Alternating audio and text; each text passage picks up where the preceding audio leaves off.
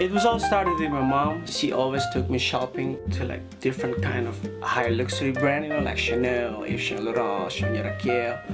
And when I was 19 years old, I was getting more interested in the same stuff she bought back then. But when I was 19, I was I was a student, so I couldn't afford the stuff that I like. It was way too expensive. The first idea was three years ago. I, I came up with a concept, uh, affordable luxury. But at that time, I was still studying and, and, and working, so I couldn't focus 100% on it.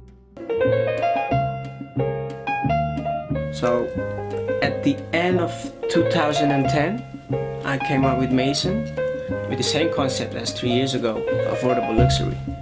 I want to give people the same feeling as when they buy a high-end product, the same finishing, the same quality, but affordable.